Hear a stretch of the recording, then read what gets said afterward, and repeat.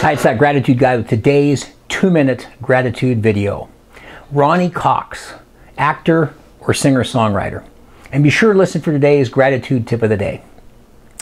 Earlier today, I was fortunate enough to attend a concert, a very small concert by Ronny Cox and his band.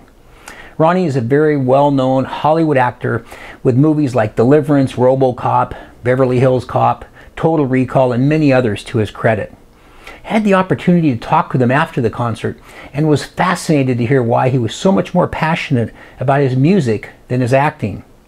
He said that he could never connect with his audience through a lens like he could with playing music for a live audience. He went on to say that there was a lot more money to be made in acting than in playing music, but that he was so grateful to have that personal connection with his audience. There's that word again, grateful. It reminded me of how grateful I am to have truly found my passion, just like Ronny Cox found in playing his music and not acting. He was so passionate about his music that he even answered the door himself and said, Hi, I'm Ronny.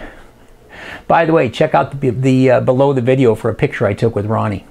Now the gratitude tip of the day. Take a moment to really think about what you are passionate about. Like Ronny Cox, it might surprise you to find that it is something completely different than you are known for. Lastly, thank you for watching my videos and to purchase a gratitude journal for you or a friend, simply click on the Amazon link below.